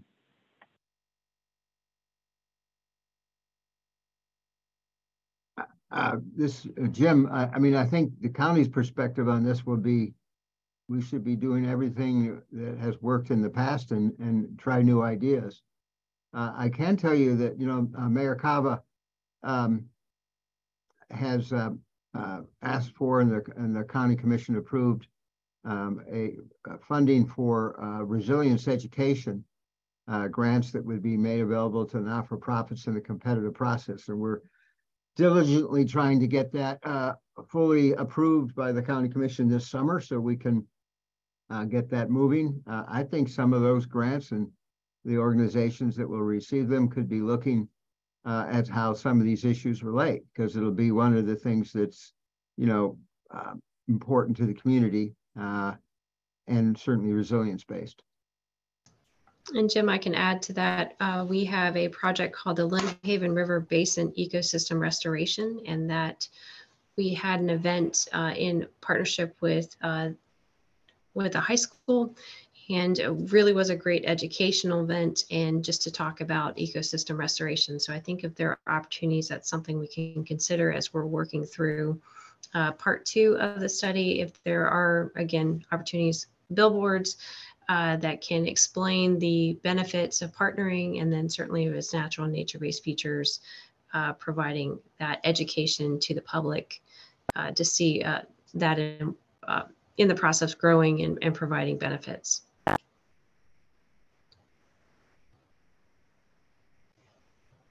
Thanks, Michelle and Jim. Uh, our next question comes from Martina. She asks, are hybrid nature-based features being considered to retrofit existing seawalls and are biomaterials considered for the proposal of any hardscapes, especially sea, sea gates or anything going in the water that will affect the ecology?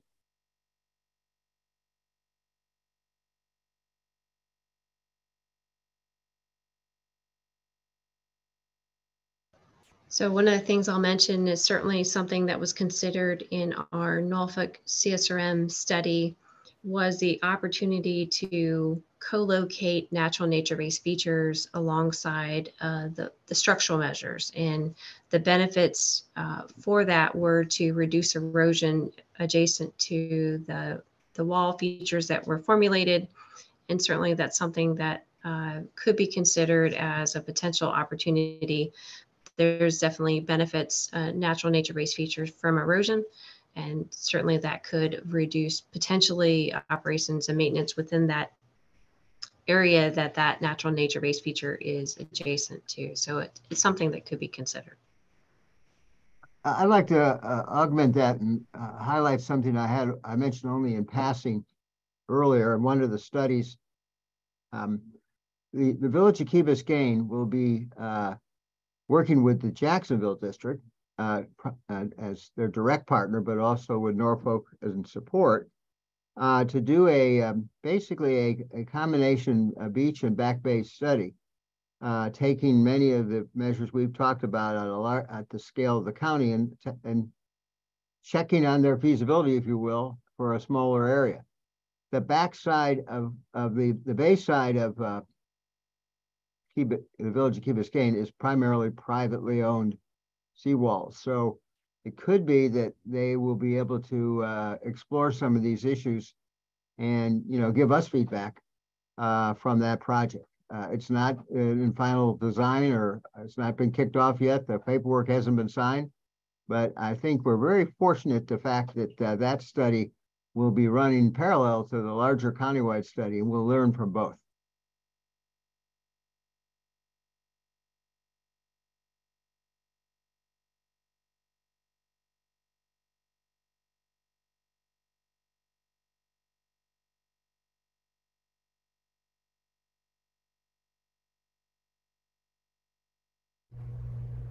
Thank you for the update. Sorry, I was on mute. Uh, our next question is from Aida, and uh, she asks, given the multiple benefits of mangroves, will they be considered for nature-based solutions for the more urban areas of the county? So one of the challenges for the natural nature-based features will be to co-locate them where we have areas of damage. And so that will be our primary focus for those natural nature-based features, really focusing again on the study authority. Where is the damage occurring and where is the greatest opportunity for those to reduce risk? So that's will be our primary focus for locating those features.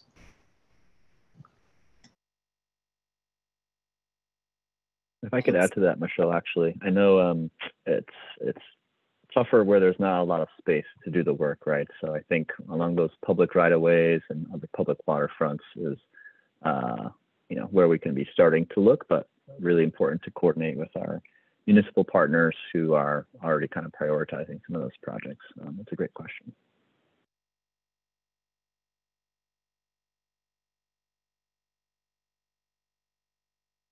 And uh, we have comments in the chat from Joanne. She says harmonization funds are needed.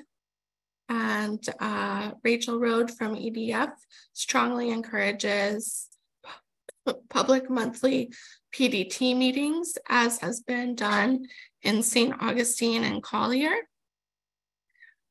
And um, Doris Acosta suggests a presentation center with easy public access, similar to a sales center to a new building.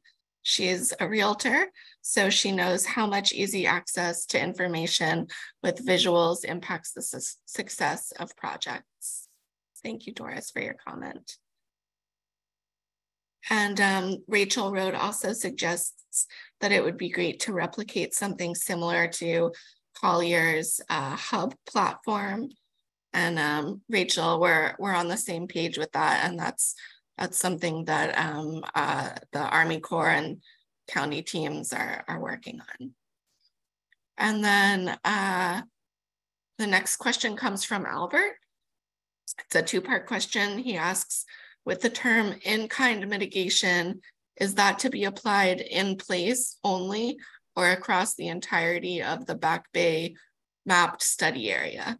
And can solutions and opportunities for force multipliers be tracked and accounted for in part two to inform the strategy while maximizing community benefits and ecosystem services within the overall mitigation approach.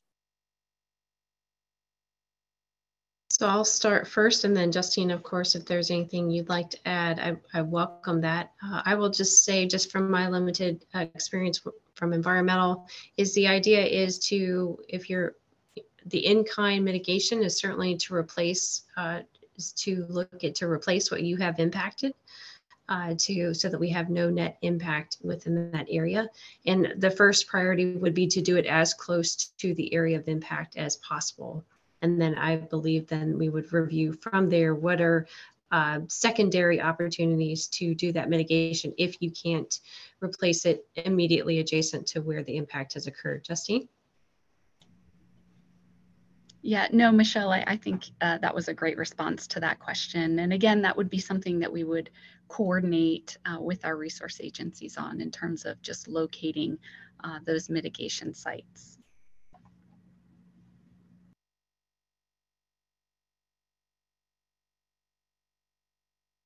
Sandra, I think there was a second part, and I apologize, I missed that second part. I think he was talking no worries. about. Here, like I can read it. Um,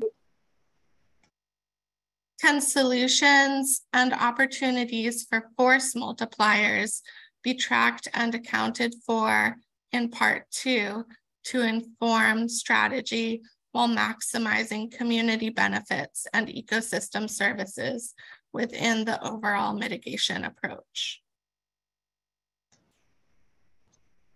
So Albert, I'm going to try and uh, digest what what you're asking here, and I hope I, I hope I'm answering correctly. So I think the team is really working hard to look at work that's already being conducted within Miami-Dade County. And if there's opportunities to complement that work with uh, measures, either for measures to reduce uh, coastal storm risk or for mitigation, I think that's definitely a win-win, not only for the county, but for all, for us as well. So really looking for those opportunities to complement. And then, like you said, would then be a much bigger uh, either mitigation or certainly measure for the county.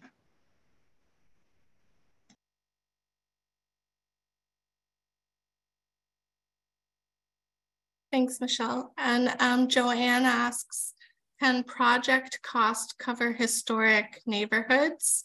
NIP's neighborhood or condos qualify? do, do NIPs, neighborhood or condos qualify? So cultural resources is an aspect of what we evaluate when we're looking at impact. Certainly when you're talking about uh, non-structural measures, uh, the the movement away from how that historic structure has always been is something we have to consider when we uh, propose not, you know, elevating a structure or flood proofing a structure. So it's something that we include and then um, trying to mitigate that historic, that damage to that historic structure. And that could be, again, that difference from what it has been historically to what we're trying to uh, mitigate it to that uh, I believe that would be considered in the project as a project cost moving forward so that we are minimizing the um, impact to the historic resource. And really the focus of the non-structural measures or the areas that we're evaluating is really focusing on where that risk occurs. And that could be uh, new structures or that could include some historic structures.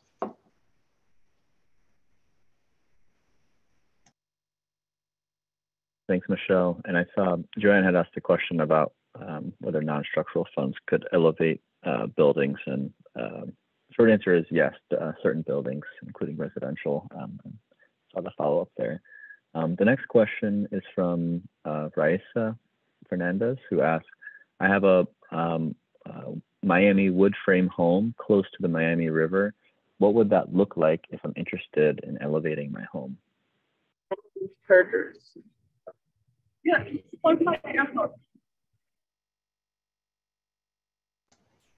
I think there's an open mic, but I, oh, or maybe not. Um, what we would look at to certainly evaluate uh, the home uh, that would be at risk. So we evaluate each each structure based on the first floor elevation and then compare it to what we estimate that design elevation would be. And if it, that uh, structure or a group of structures is included in that non-structural measure, then very simply, and, I, and I'm, I know I'm very oversimplifying this, is a you know a contractor would come in and uh, look at placing depending on your uh, first floor, whether that is a slab on grade or whether that is a uh, a crawl space. They would insert um, they would insert beams and ultimately very slowly jack up that structure uh, to a designated height and then begin to fill in either on either be on piles depending on the type of flooding that it is whether it's a wave action. You certainly don't want to have a filled in uh, foundation in that environment or if it is a what's called a it's a an a zone but it doesn't have wave action then it can be an elevated foundation on um, on blocks on blocks. So to be additional uh, elevation to your um, foundation. And again, I apologize, that's oversimplifying. And they would certainly put it back down once they have constructed that foundation.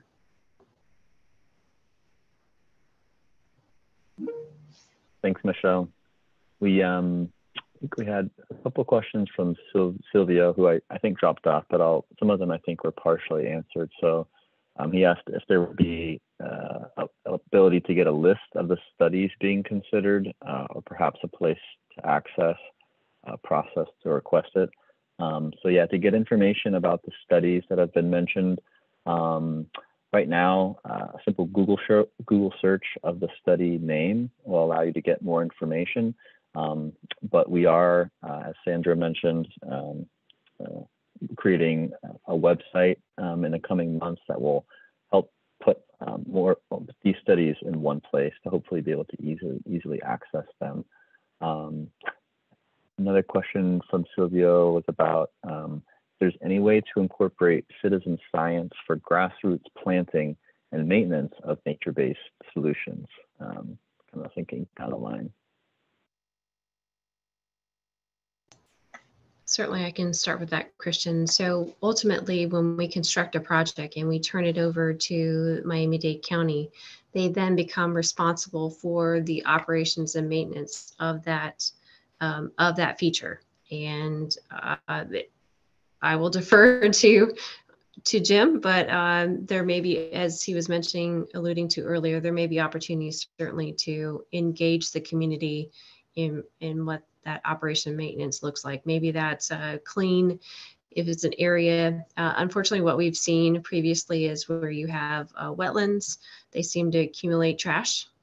So it could be that that could also be an opportunity where you have uh, uh, citizens who who clean the natural nature-based feature and, and rid it of the trash of that area. Uh, Jim, what are your thoughts? Well, I know we have a history of, uh, of uh, nonprofit groups in a county that organize cleanups, and um, unfortunately, we need to do that because of the uh, you know debris that comes uh, onshore from uh, in the ocean, the currents, and and comes down our canals. So I don't. I, I think we would hope that as we move forward and, and these projects are in place, one, we've started to really address seriously our uh, know, our waste problems so that we don't have as much waste to dispose of. But then I think we could easily uh, find ways to um, support our not-for-profit groups who, who, who always play a key role. Uh, I don't know exactly what we're looking at, so I can't make any commitment, obviously, but I think it's it's government working with partners uh, at that point in time, Michelle, where, like you say, where we're maintaining it uh, and um, that's something that I think our community easily steps up for Baynanza and other uh, activities to, uh, to, to try to take care of the environment that way. Thanks, Jim. Thanks, Michelle. Um, another question Silvio had was um, whether there was any current consideration for the value of blue carbon. Um, I'm not sure that it is, but perhaps something to look at the comprehensive benefits in part two. But Michelle, I don't know if you could speak to that in any more detail. Sure, Christian. No, thank you for that. And thank you for that question. Uh, currently, right now, that's not part of the comprehensive benefits that we are currently um, tracking. But again, we'll go into more detail in part two. I'm not sure that that will be included, but it'll be something that we can list as uh, we can uh, discuss with the team whether that is something that would uh, could be included for consideration. And we would um, we would certainly support that if it could fit, but if it, if it didn't, I think the whole area of uh, sequestration of carbon uh, using our natural systems uh, is something that we need to research with our university partners. Be sure that you know it's it's an, an accountable and transparent process. If it makes sense, uh, and, and even if it's done independent of this authorized study, uh, you know, this is what we try to do in our climate action strategy is find every possible way to reduce, to get to a net zero of greenhouse gas emissions. And that could mean, in some cases, sequestration. And I see, thanks, Jim and Michelle. I Silvio had a, a quick follow up uh, about that, whether he can, can I support uh, the blue carbon calculations? Um, offer for help the question, can we support or? Yeah, I said, I think, uh, can he individually support blue carbon oh, calculations? Oh, sure. Again, we this is an area that we work with uh, what we call our um, Resilient 305 uh, collaborative made up of our university researchers. Uh, I know Dr. Tiffany Troxler at FIU has been looking at this issue and probably professors at UM. So not an area that our Office of Resilience right now has uh, experience with, but we always look to our partners in the universities to guide us. And thanks, Silvio, for your, your contact info. Um, uh, I think the, another, another question that Silvio had earlier was about um, any geospatial scenario simulations that are developing being developed for these different um, considerations. So maybe Michelle, you could speak to what kind of geospatial analysis is being included? So a couple things. One, certainly as we uh, formulate the alternatives and specifically as we go into part two, we will outline what measures will be in those alternatives. And so we'll be able to have, we will have uh, shape files that define what those measures are, certainly at the draft stage, but also um, one of the lessons learned, certainly from the first feasibility study, is to develop, and, and this may be going a little bit beyond your, your question, uh, to develop um, images that the renderings that show what those measures look like. So where we are able to, uh, you know, when we have a draft plan, we can certainly provide some level of renderings to the public. I think that helps the communication, that helps the discussion and the interpretation of what we're trying to recommend within that area. Uh, and we've also learned what happens when you don't have those renderings available. So certainly want to get ahead of that and um, put the you know put that rendering out for the public to uh, to digest and provide comment on.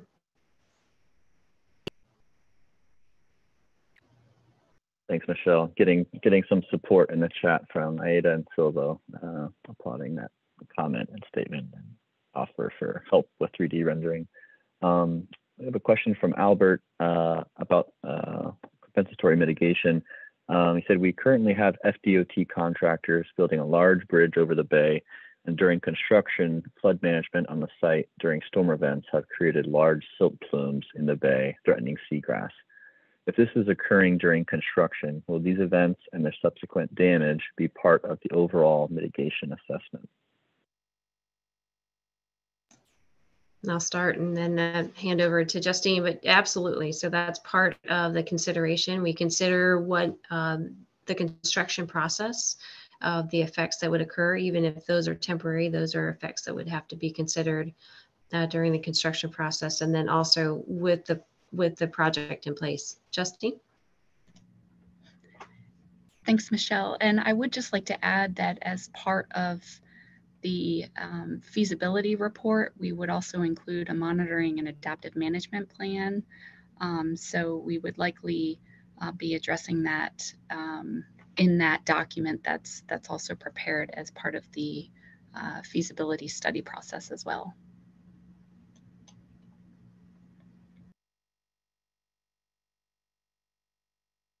Thanks, Michelle. Thanks, Justine. Um, we just got another question um, from Sweta. Um, as we battle the mitigation for extreme events, the energy infrastructure needs reorientation as we transition to an economy of clean energy. What are the goals and outcomes that could be expected in this direction?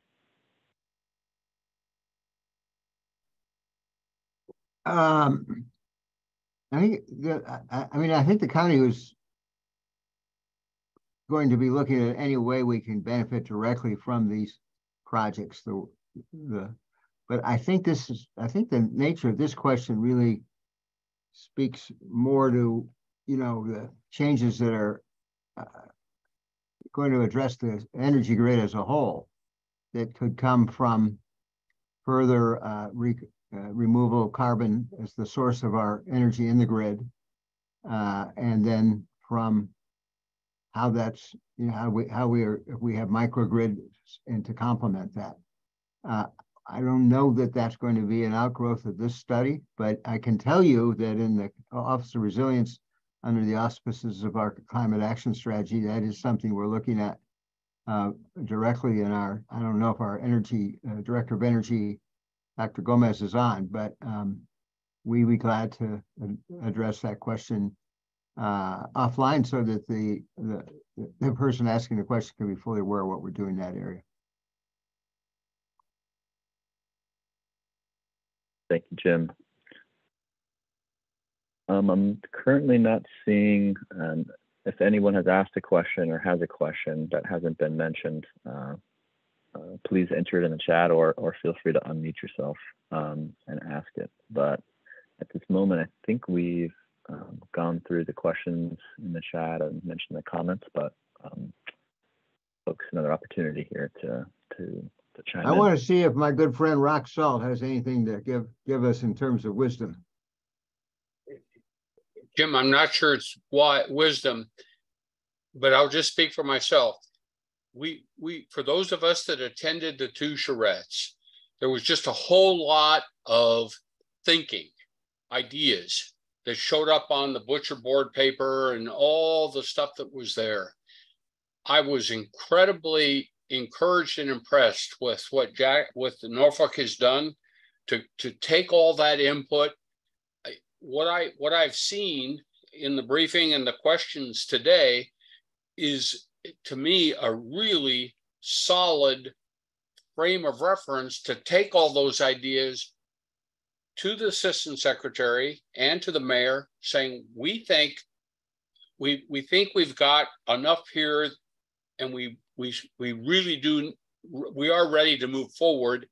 A lot of the questions people have been asking are the kinds of questions that'll that'll pop up after we've after we're given the go ahead but but from from just from the standpoint from my seat and and people can disagree with me but from my seat i think the county and the norfolk did a really fine job of capturing the the sense and incorporating the details of of those two charrettes and i just applaud them both um and and so i'm i'm hopeful that uh, the mayor and the assistant secretary will will um, go forward. And I, I, by the way, I look forward to working with the Corps on some of these mitigation ideas, uh, on some of these ways of thinking about ecosystem services. Back in the day when I worked up there, that was really hard. It is really hard. And so, but I hope we don't just say it's too hard. I hope I hope we I hope we can be part of the the pace setters for doing some of these things uh, uh, for the country and for the Corps. Thanks. Colonel Hallberg, did you want to make any closing comments?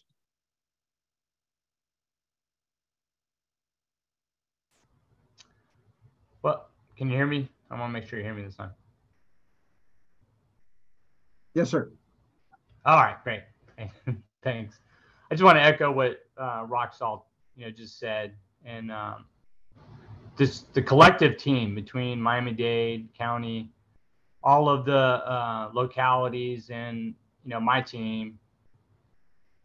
And that that includes uh, you know all the additional assets that the enterprise has provided because we've gotten a lot of additional assistance from um, you know, outside of uh, the district, and to include the engineering with nature uh, from from ERDC. That you know, this is great effort to date to come up. You know, we we've we thought big, and we've uh, taken that and um, and come up with some very creative uh, ways to address coastal storm risk. And uh, I I believe that when we sit down with Mayor Cava and uh, the assistant secretary in August that uh, we're going to be successful with uh, moving forward. So I look look hopeful, look look forward to that day in August when we do that, and um, just look forward to continuing being part of this this team and coming back and visiting Miami-Dade County. So thank you.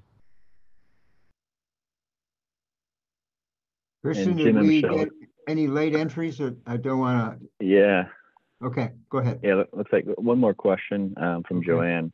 Um, she asked, is there any sense that the U.S. Coast Guard will weigh in on design details with an eye to raising the evacuation threshold when gates are activated?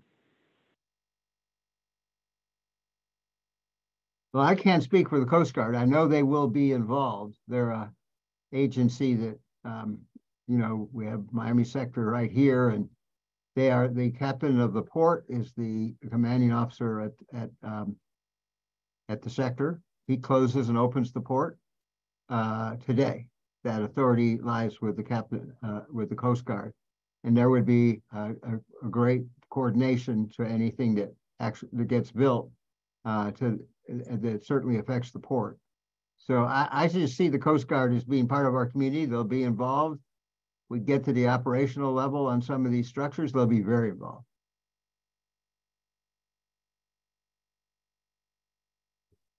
Thanks, Jim. And then uh, Justine, did you want to add anything to that or? I think. No, that that was good, Jim. I just wanted to say we have um, we are coordinating with the Coast Guard Sector Miami. Um, uh, we did have a meeting with them to begin those discussions. So and those will continue uh, into the future. Thanks, Justine. Thanks, Jim. Um, one more question I'm seeing coming in from Martina. Um, she asked, given the long timeline, would an earlier phase, smaller scale, living shoreline or hybrid strategies be considered on a site like FIU's Biscayne Bay campus to monitor, iterate, and inform later phases? So Martina, that's a great question. Uh, the focus of our part two is to get to a chief's report and really that helps us get to the point where we can do construction, the chief's report, and then the design, uh, pre-construction engineering design, and then ultimately construction. So kind of have to run through those processes before we can uh, construct anything on the ground. I, I, I, would just say there's nothing stops us from partnering and investing in, in pilot projects. I know um, our consulting community has been working with the city of Miami on, on some projects that are uh, planned for uh, Morningside and um, Jose Marti. They're going to be cutting edge projects. We'll learn from them. The city of, of Miami Beach. Uh, I know, um, Christian, you, I think, or somebody, one of our slides that Lynette mentioned, uh, you can drive by and see some of these new uh, applications.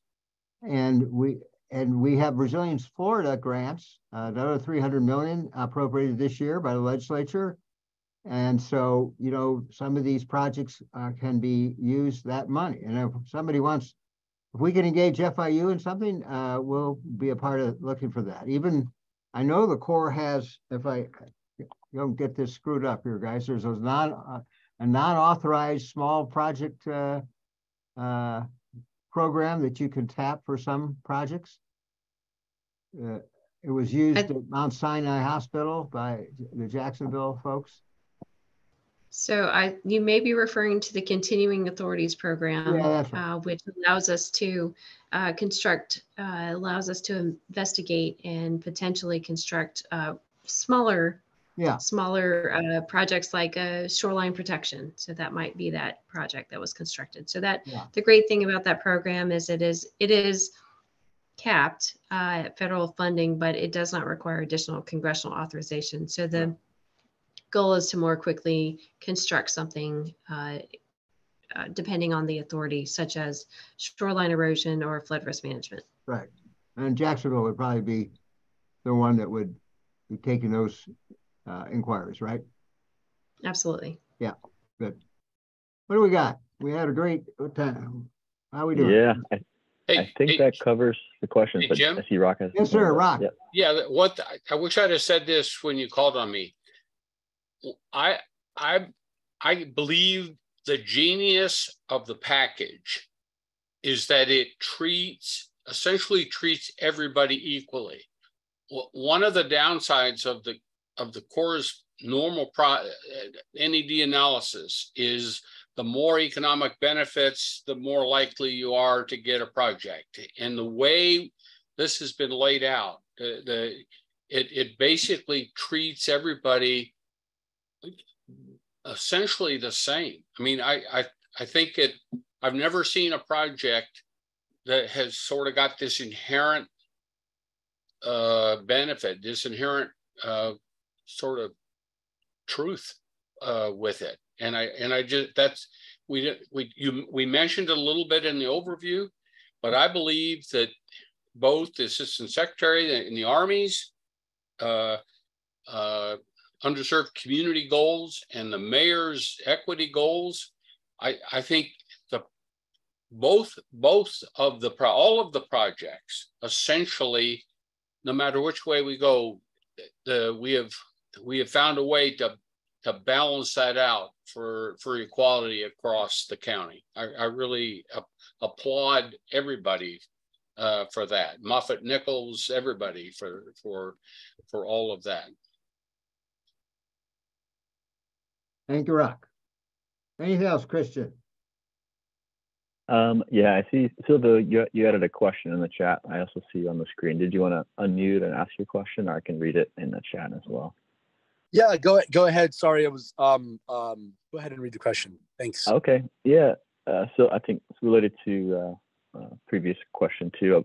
about how it would be great to pilot multiple small community projects to plug into the later inversion and inform the analysis going forward. Um, so he's asking if it's possible to get a small pilot grant to do so. Um, and you kind of talked about that a little before. I don't know if there's anything else you want to add to that. So, pilot projects, Silvio, is that? That's right. Yes. If, if, if we're exploring living shorelines, nature-based yes. solutions, and we can do them in, in smaller areas, in different yes. areas with different conditions, uh, perhaps, I mean, with, within this multi-billion dollar endeavor, there's ways to, to do smaller size, bite sizes that, that could support, as well as maybe even speed up the timelines in parallel to the larger goals of the project to, to reinforce the, the larger project, eventually bringing those two, uh, uh, uh marrying those two uh, together uh, over you know the course of the next five years or, or however long it'll take. I think we both. I mean, the certainly the county wants to look at anything that can bring some uh, positive benefits soon. But we are respectful. There's never a billion dollars on the table, right? So, so that's the total cost over decades. Uh, they have to scramble and we have to fight for every appropriation uh, across that landscape of projects that we're doing. But uh, there are other places we, we can look for funding.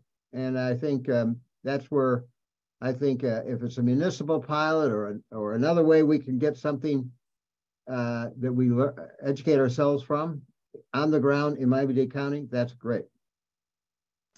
And Jim, I'll just add to that. Certainly, if there are local projects like we had mentioned before, certainly I believe on the backside of Miami Beach, things that we can learn from as we are formulating the natural nature-based features, we were open to looking at those examples as well. Okay, that'd be great. And yes, Jim, I'll, I'll go ahead and work on that and and I try to unlock. I know NOAA is interested in funding some of these community-based projects for nature-based solutions and living shorelines and mangroves and this kind of and, and things of the like. Um, you know, so we'll we'll maybe circle back on that a, a offline because there's some policy significant uh, federal funding uh, just announced last week uh, from NOAA. So, yep, good point. All right, Christian. Thank you. Are we ready? Yep. Yep. It seems like um, aren't any more questions. So really appreciate everyone's time. Uh, like we mentioned, look out look out for updates um, leading up to and, and after August. Um, yeah, I don't know. Any closing thoughts, Jim? Well, thanks everybody for um, giving us your time. Uh, it was well worth our time. We we always learn uh, from this kind of input. Thank you to Colonel Hallberg and his team for uh, giving us your after hours. And uh, I think we are uh, in a position to declare this call adjourned. Great, thank you.